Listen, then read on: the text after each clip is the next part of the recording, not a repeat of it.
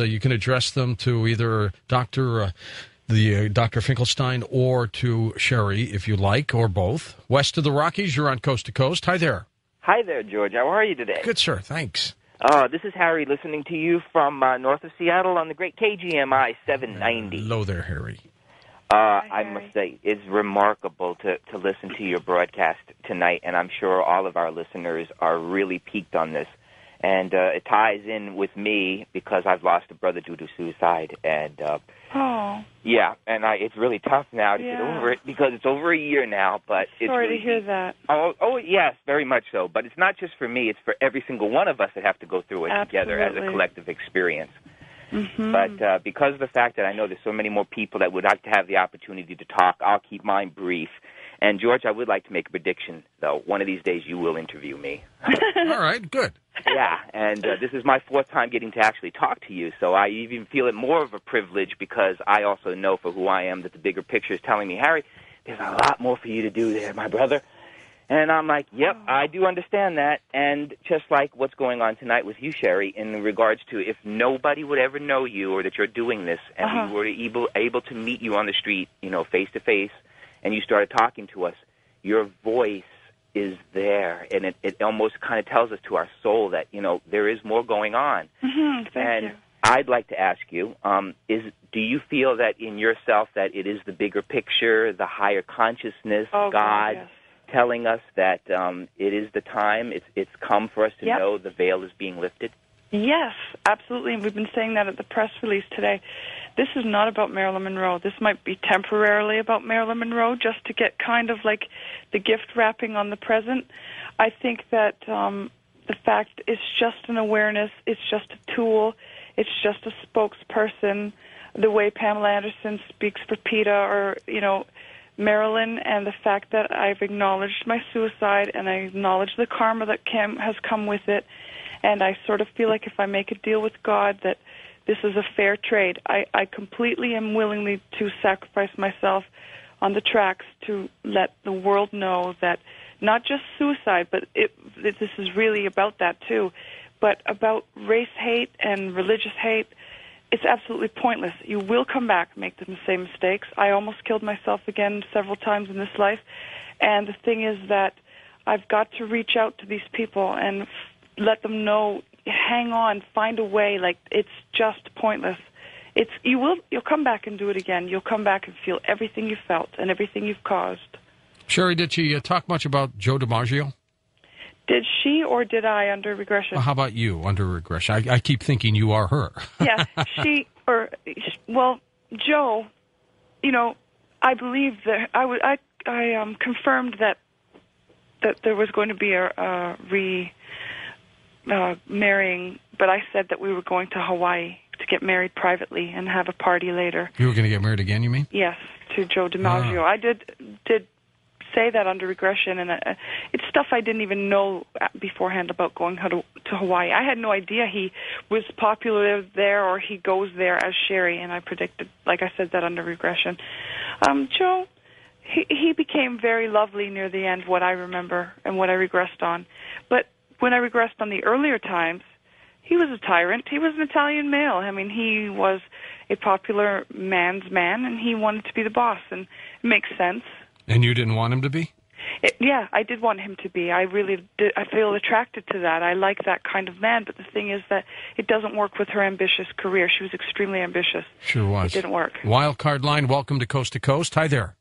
Hello, George. Yeah. Hello, Dr. Finkelstein and Sherrie. Hi. Um, I wondered if any of you had heard of the housekeeper, Marilyn Monroe's housekeeper, had made a statement to the investigative journalist Anthony Summer in 1984 that she did lie to the press and to the, police, and that she came back on, a year before she died and said she invented the whole thing, that Marilyn was actually removed from her apartment, her bungalow, at 2 o'clock in the morning and brought that she was alive when she was removed and then was brought back at four o'clock in the morning, and that Bobby Kennedy was somehow involved. The the ambulance driver confirmed confirmed what the the housekeeper said. It was all written up in a book in 1984. I forgot the name of the book. It was by Anthony Summer, famous investigative journalist. Also, I wanted to know if you were when you're under regression, if you were touching the Akashic record if you were tapping into that. And also, I wanted to know how to get in touch with uh, Dr. Finkelstein because I have a feeling that I'm reincarnation of Beethoven's first student, Ferdinand Oh, Ries. that's Oh, interesting. that's so Okay. exciting. The, who, all right, who wants to handle? You want who wants to handle the question about the uh, the maid? Do you want to do that, Sherrie? Sure. I feel that I regressed and Bobby was there later. And yes, there was a cover up in the sense um, gathering anything that would be incriminating to the president and to Bobby. That's a fact. I believe they were there, and they were there late, and I believe they were there between 12:30 and 2:30 in the morning. But Marilyn was gone, as far as I'm concerned. What I regressed on, she was gone quite early in the evening, nine, ten at the latest. Not even that; it was earlier. We I regressed onto the fact that it was earlier because the pills were ongoing, and I, I've mentioned that people don't realize Marilyn lost weight. It was bad timing. She wished for it hard enough, and she. It's a case of when you wish for something enough, you'll get it. And she actually took a mixture of pills that were not. They didn't combine well, so there was actually an allergy, allergic reaction as well as weight loss, and the fact that she just didn't care anymore. Just rage. And doctor, uh, do you want to give out an email address, or can they get that from your website? Sure. Um, uh, it's uh, A. Finkelstein F.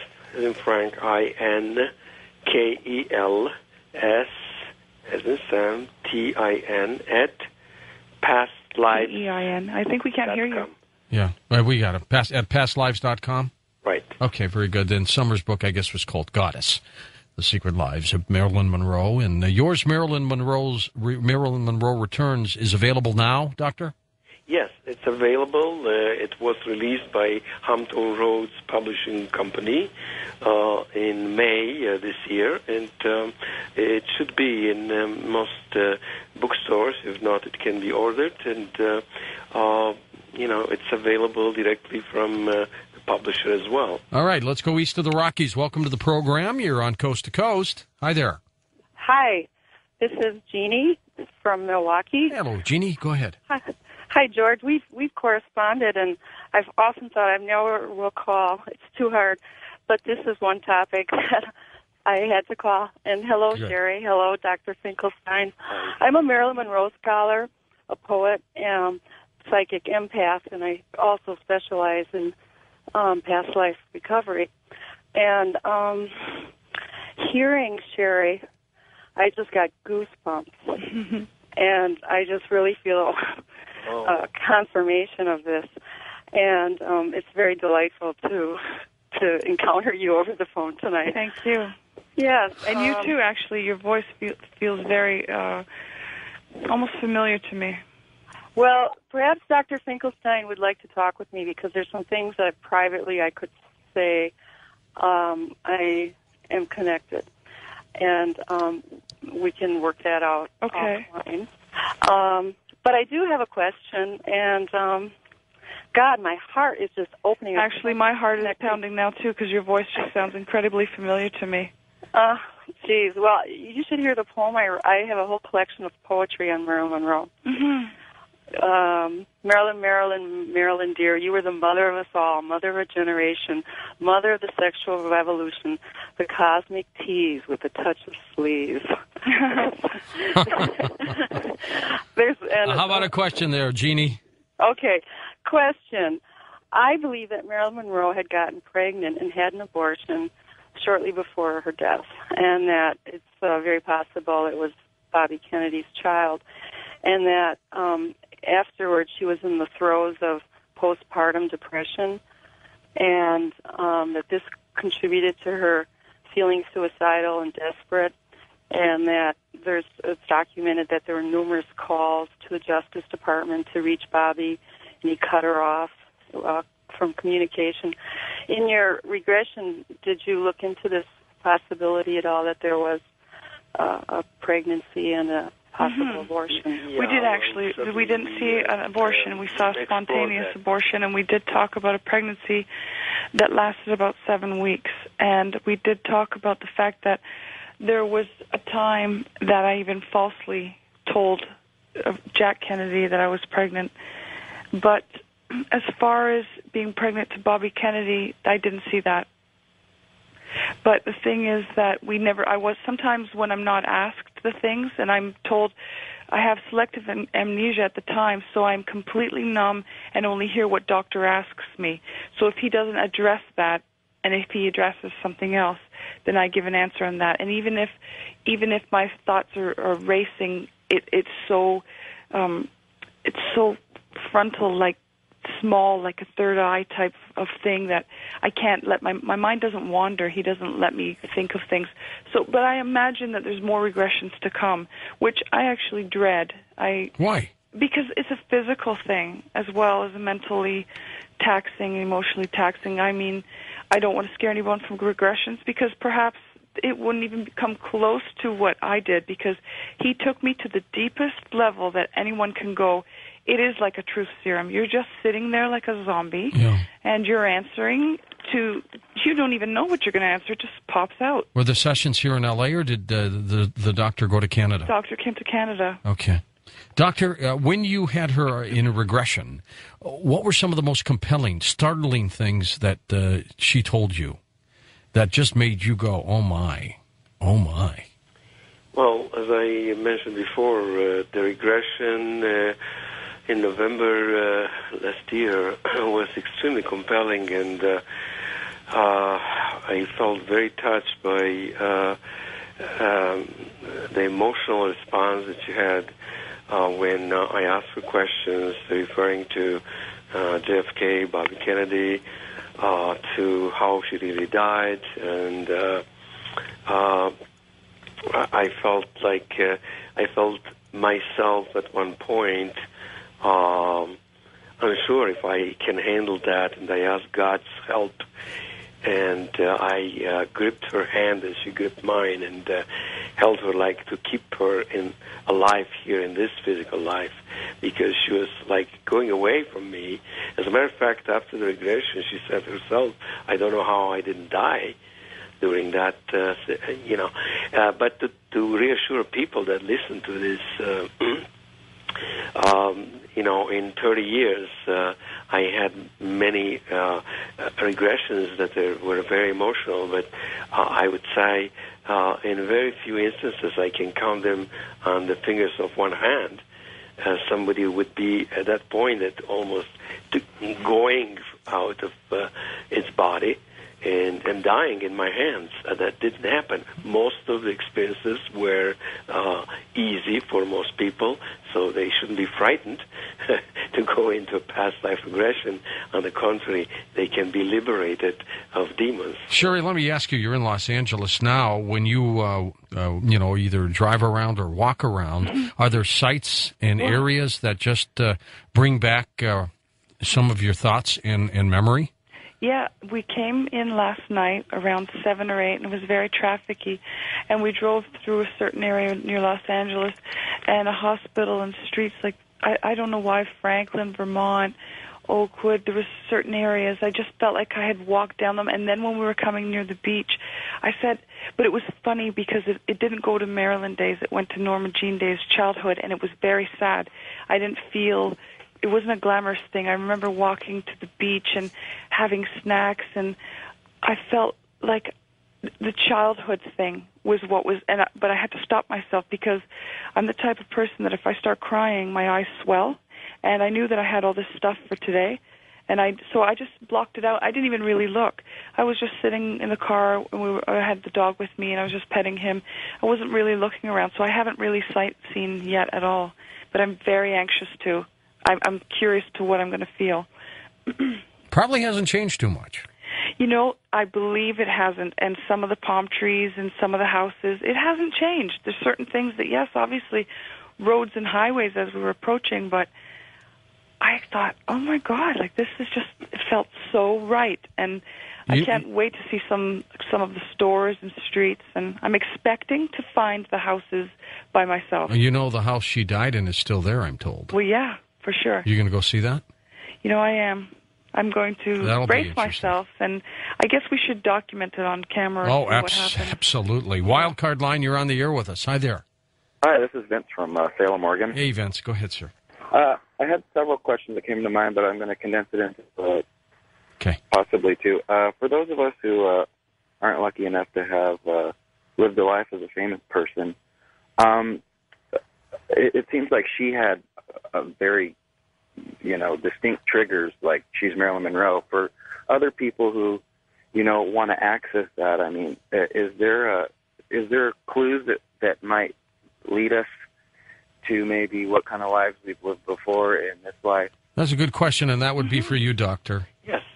Um, and here, uh, I'm glad that this question was asked because, uh, in addition to past life regressions, which are the most compelling, especially if a person reaches a somnambulistic state uh, in which you can eliminate through selective amnesia suggestion anything that could be uh, leading on. Uh, there are other uh, signs like uh, biometrics, as I mentioned before. Uh, a person looks like, uh, you know, not like a clone because they're different genetic parents, but uh, it's something constant that remains from one lifetime to the next, uh, like the uh, bone architecture of the face, uh, hands, feet, body build, uh, uh, voice pattern, the hairline, the forehead, uh, and all that. linguistics, by, uh, handwriting, and many other indications that you can follow, which I did with Sherrie Lea Laird.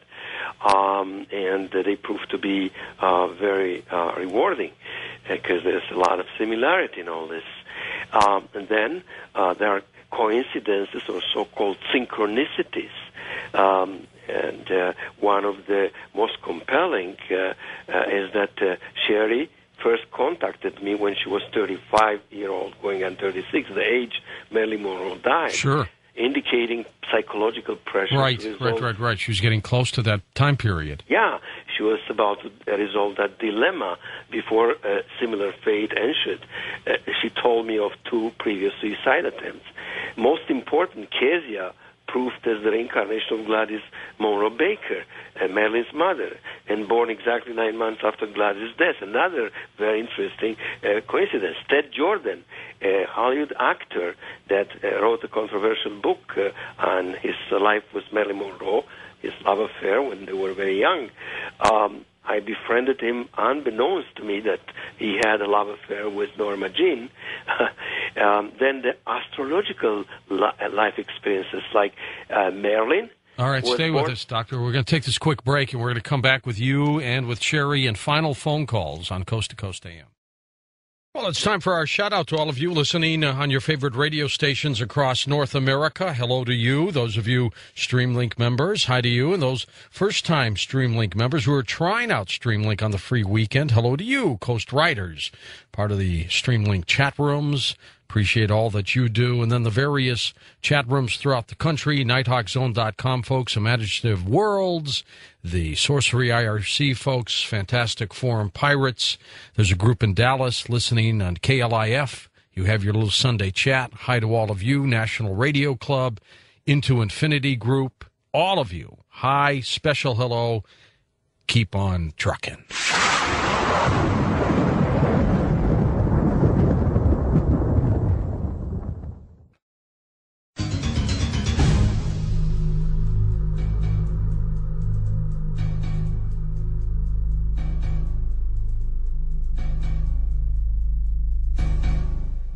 Okay, welcome back to Coast to Coast. This is our final segment with our guest, Dr. Adrian Finkelstein and Sherrie Lea Laird. And next hour, we'll have our traditional Friday into Saturday morning open lines. I've got open lines for you next Wednesday, too, because it's a full moon. Let's go to the phones. Let's go to our international line. You're on Coast to Coast. Where are you calling from? Calling from Iraq. Iraq. Yes, sir. Oh, yeah, are you a soldier out there? Yeah, I'm stationed over here. Well, uh, be be safe. Hello to all our other uh, Yeah. fighting men and women out there, and thanks for calling. All right. Thank you. And uh, take it away. It's all yours. Okay. Uh, I just want to ask a question for a couple questions for Marilyn. Okay, Marilyn's here. Maybe we can get her out to Iraq for one of the uh, Christmas specials, huh? Yeah, that's what me and the guys are talking about. I'm Maybe afraid to like fly. all the time. sure would be. Okay, go ahead, Jimmy. okay, uh, Marilyn, I, was, I just want a question. Uh, when were you born? In She won't tell us, Jimmy. She she says she was born after Marilyn Monroe died. it's pretty well out there, but I just have an issue with actually saying it. That's what's so silly about the book. You know, I wanted to do this anonymously. I couldn't bear the thought of coming forward, and um, that's the reason. Just age, just a vanity girl thing. But it's especially because in the music business, I look half my age, and so people have always thought that. And then now I have to come out with it, so it's really annoying. But I was born about approximately uh, right after, like enough time to make a baby. ah. Because that's a big question. You know, I mean, I'm not saying I'm not skeptic or anything like that. I'm, I don't say I disbelieve, but that's just you know, because if it was well, she was alive, well, we knew it couldn't be true. And me and the guys were just sitting here. We listen to the show all the time. We really like it. Hey, Jimmy, let me ask you for a second while I have you. Uh, how uh, how's the morale of the troops out there? Pretty good, pretty good. Oh. I'm in operations. We listen to the show. We can we got a lot of downtime most do of the time. you ever feel that? Um, do you ever feel like you guys are over there, and do you ever feel like you've done something like that before? Because a lot of soldiers repeat being a soldier too.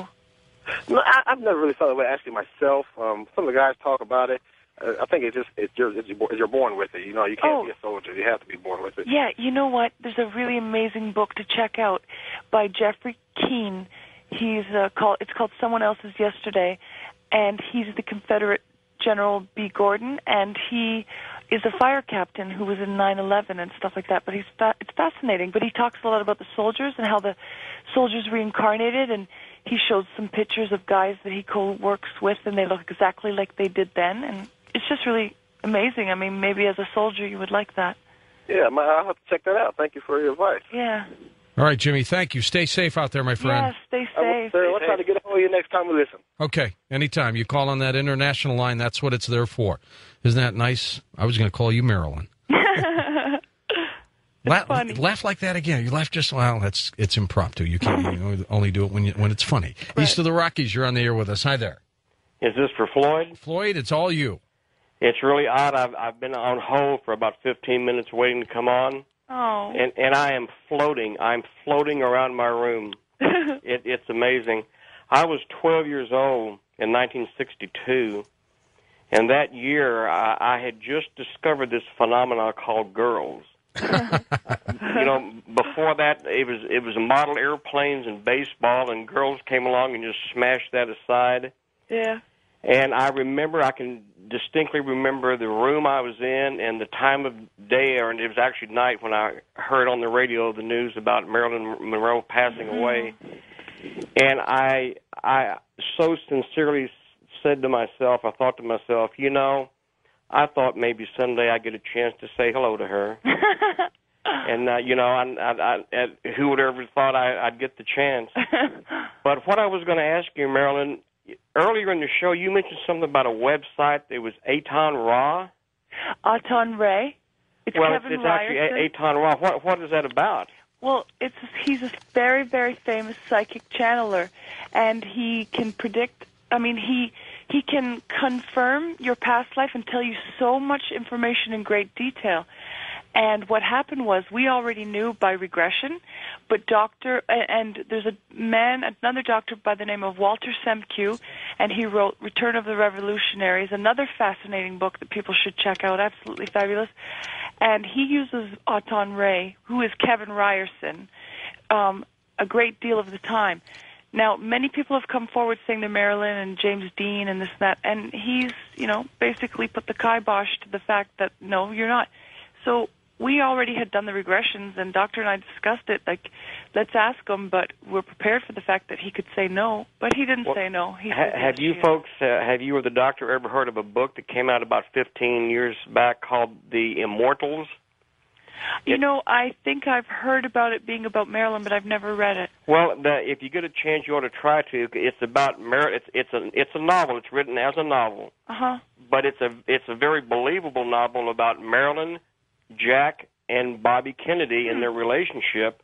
And it, I, I always felt when I read that book that actually the person who wrote it knew what was actually going on, but he wrote it as a novel to play it safe, so he could say, "Well, it was just a novel. It didn't really happen that way." I, I feel like that about a lot of the books about Marilyn. I can feel and tell from my own knowledge what's true and what's not true, but there are things that I do see that are are they're trying to pretend it's jokes and it's really sounds very right. Would all, all I can say is, George, did you think you or I ever one, one either one would ever get the chance to say hi to Marilyn? I know. What a gift, huh? yeah, I, I'm, I'm, I recorded this and I'll play it over a lot. Great. Thanks, oh, Floyd. That's so nice. Appreciate you being on the program. What was, here's a quick t- trick question for you, Sherrie. What was Marilyn's favorite color? You know, people are saying that I don't know if they're saying it's black or red, but I'll just tell you that mine is just black and red. Okay, so and I think hers was green.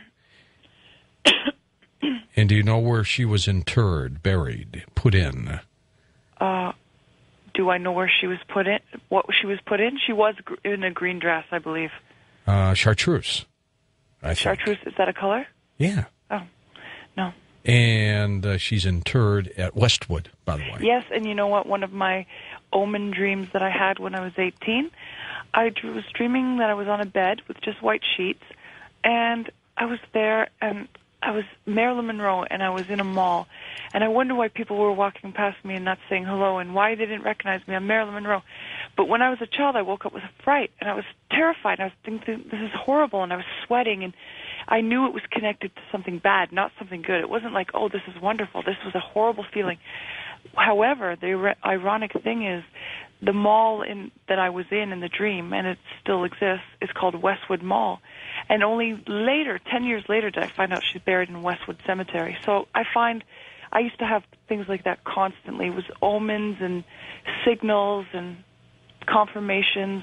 And doctor will tell you with reincarnation, those things are the things that happen a lot. And uh, you just relive a lot of things, and there's One very clues and interesting names. fact that we didn't mention because I I can't hear you, doctor. Yeah, he's on Some- your same somebody line. asked me somebody asked me uh, about signs you know how to recognize like we did in your case sherrie um, uh, that you were Marilyn Monroe before somebody else wanted to find out about himself what he was before so I started saying something about uh, similarities uh, uh, like biometrics and uh, past life regression and uh, uh, coincidences or synchronicities and one of them that was very striking was about Tony Curtis because uh, T- Tony Curtis uh, was not considered to have had a romantic affair with Marilyn Monroe. Uh, at least it wasn't in public record.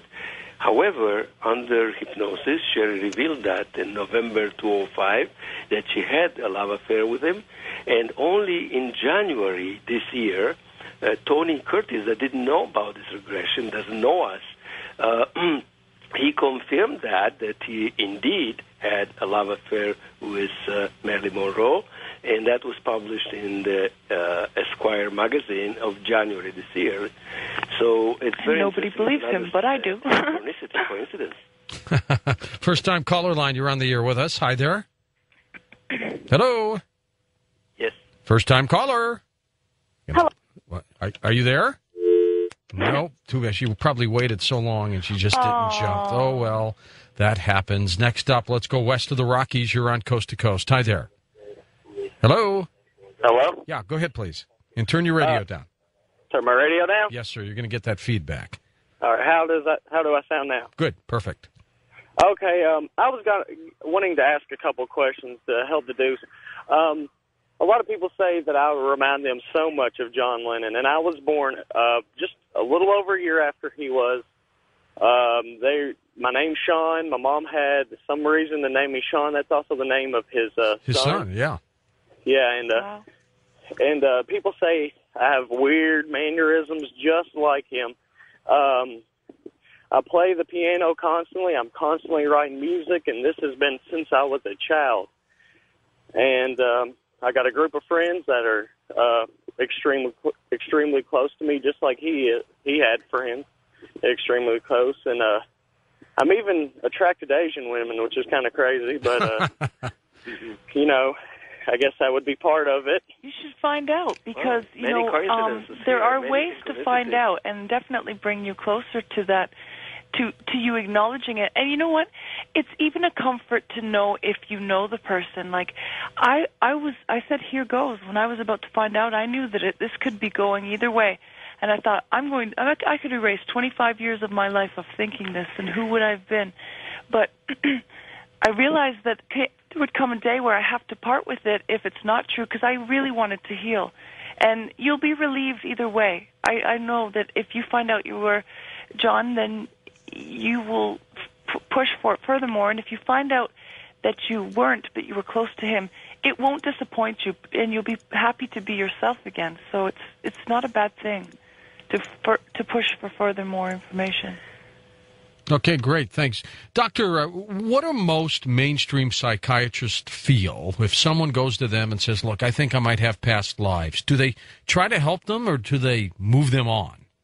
Well, uh, usually they discard uh, it as as, uh, as something uh, unrealistic, but uh, I would say that the American Psychiatric Association and the American Psychological Association haven't taken a stand against or pro past life regression therapy, uh, which tells me, the way I interpret it, that both would rather stick with the old habits, um, and uh, you know, on the other hand, they feel there is a, a truth in uh, reincarnation and uh, therapy through past life regression. However, um, I, I got a lot of referrals from many, many physicians for past life regression. Uh, they refer to me patients. So it means that, yeah, it, this is what they're accustomed to do, to practice the old stuff. And new stuff is a little bit scary, you know.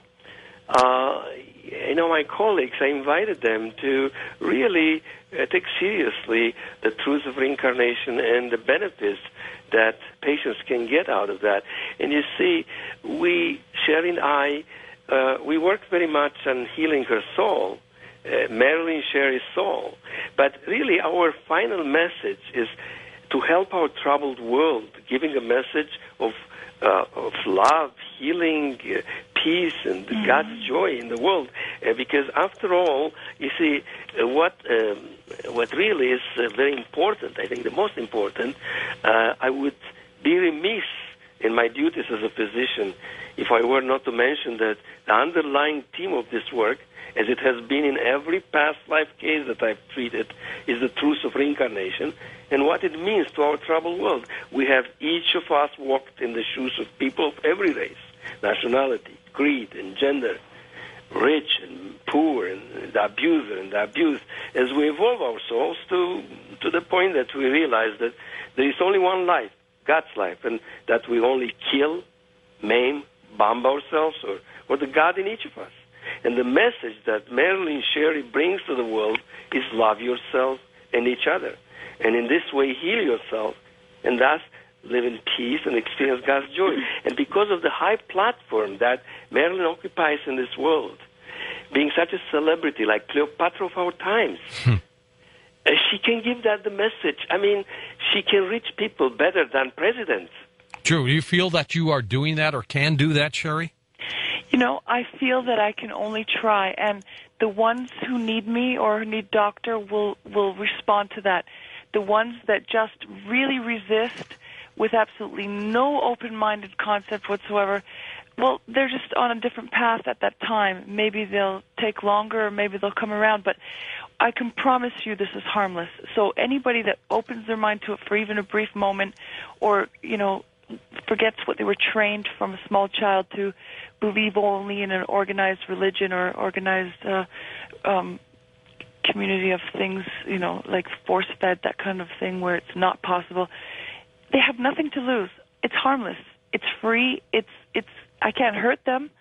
And the thing is that um I can only just try and make people understand through being kind and hoping people are kind to each other and just sit and have a conversation. It's just words. It can't hurt you. If you don't like it, then you know you can turn off the channel or something. It's not going to hurt anybody. So we we just got to bide our time and hope they come to us. All right, let's see if we have time for one more question. You're on Coast to Coast. Hi there. Hello. Hello. Yeah, go ahead, please. Hi, this is Ariana. and I'm calling from Seattle. Okay, Ariana, go ahead. And my question, actually, I think that I am Marilyn Monroe's daughter, and I'm in the process of writing a book about it. And so my question to Sherrie is, is she has had any kind of inclination whether Marilyn actually had a daughter or not. That's my okay. I would I would like to have believed that it did happen. I would like to have foresaw it in the regression. It would be I'd more than welcome it. Um, I know how I feel about Kasia, and I know that she was Gladys, and that's absolutely a, for sure for me. And I'd be open to it if I if I thought Doctor could regress me more, and we would talk about that topic. I would love to see it. It wouldn't bother me. I would I would embrace it. So, I didn't see it. I didn't get a chance to be asked it. We didn't see a child, but I I think that um, it would have helped Marilyn a great deal, and I really don't feel that she was capable of giving a baby away in if in a sound mind. If she was out of her mind, I feel that sure, I guess anybody can be capable of such a thing, but um I mean, her love for animals and mine too. It just feels very hard to conceptualize that, but I I myself I have to have an open mind. So if I could look into that at some point. Hey, Sherrie, how do you feel now that you believe you're reincarnated, the the, the Marilyn Monroe? I'll tell you the main thing besides having Kasia be confirmed to be Gladys, which is what I thought all my life with her anyway. Um, I think I'm just relieved to know that finally I'm not crazy because, you know, you're thinking this, you know it's true, but yet you know it shouldn't be true, it can't be true, and it keeps forcing itself into your face, and yet you just really want it to leave you alone. So it's it's alleviated some of the hatred I felt for that experience and how badly I wanted it to go away. And I feel like I'm just relenting in the fact that this is this is silly for me to think this is about Marilyn Monroe. She's already had enough fame Yeah. to last several lifetimes. This is about you now. No, no, this is about not about me. This is bigger than Marilyn Monroe, bigger than Sherrie. Huh. Well, good for you. Hey, Sherrie, thank you, and Doctor, thank you as well.